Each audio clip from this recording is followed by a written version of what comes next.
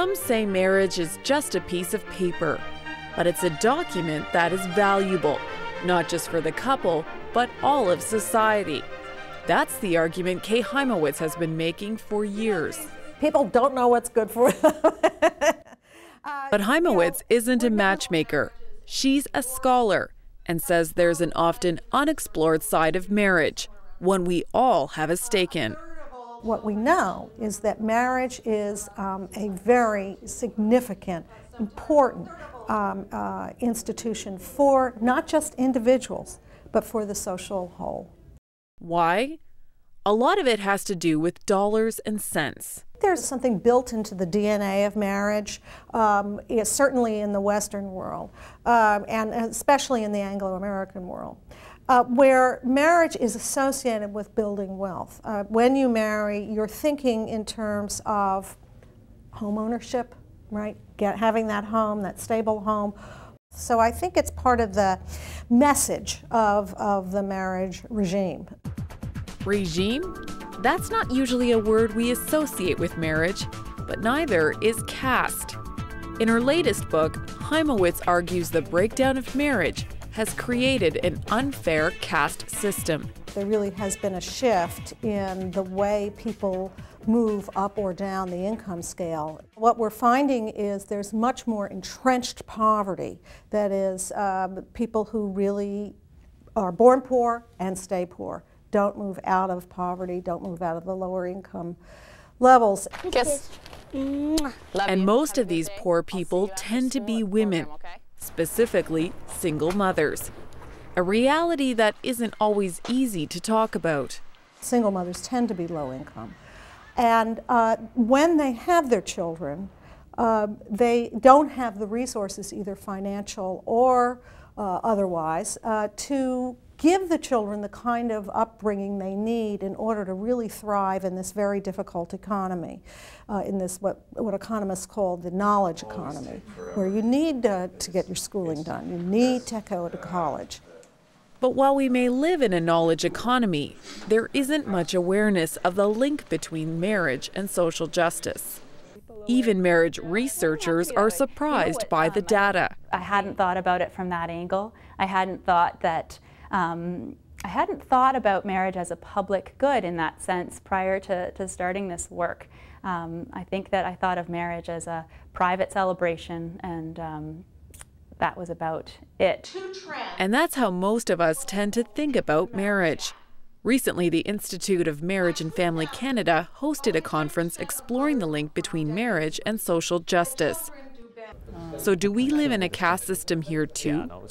I don't think that necessarily we'd look upon uh, the situation in Canada as there being a caste system, but I do wish that more people knew that um, if they're going to be raising kids, a married parent family is one of the safest um, and um, most economical ways to do it. There, there definitely is a, positive economic benefit as well as a social benefit. John Williamson is an economist and former director of the Canadian Taxpayers Federation.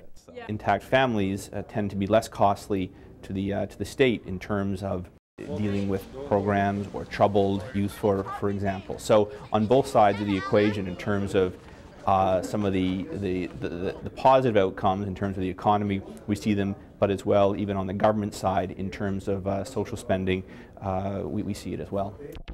The breakdown of marriage has come at a cost, not just to children. Our social safety nets have to pick up the burden. And while no study has been released in Canada, US figures show 140 billion in public spending could be saved if all children lived with their own married parents. In the UK, the extra costs to the taxpayer were measured at $66 billion. So, why aren't we talking about marriage as a poverty fighter?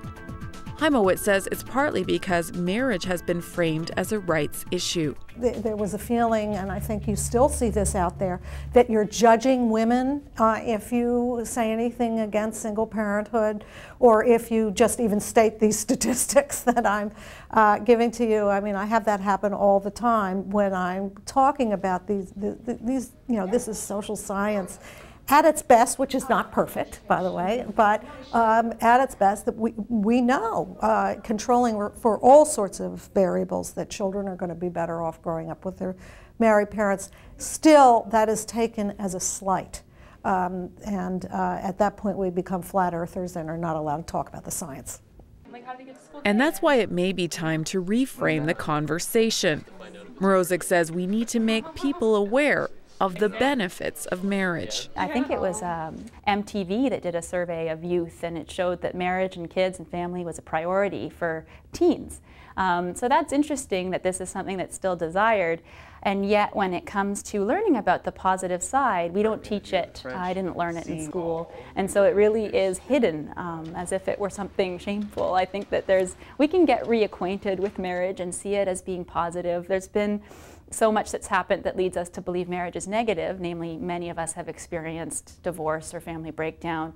Um, we can, we can rectify that situation by talking about marriage as a public good and talking about it as a positive thing. But that will be a challenge.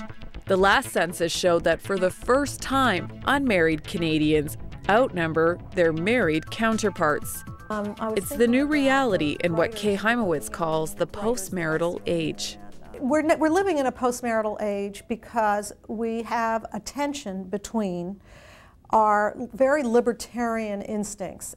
Those instincts say we are individuals, free individuals, we make our own choices, we are autonomous human beings, um, and we define ourselves, our identity is wrapped up in just very much our own decision making. That is, exists in uh, tension with um, our more uh, sort of deeper need com for communal and social connection. And I think the first, the, that uh, libertarian urge, has, has won out uh, in recent decades. Not completely, and I think the other urge is still very, very strong. So marriage may not be dead, but it's certainly at a crossroads. Organizers of this conference hope people give it another chance and see what's at stake for all of us especially the next generation. So never am I going to go around and try and convince people to get married.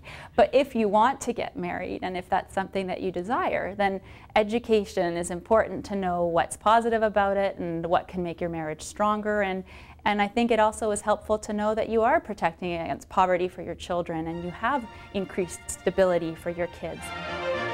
Tomorrow on I Did and I Do, a second chance at love and marriage.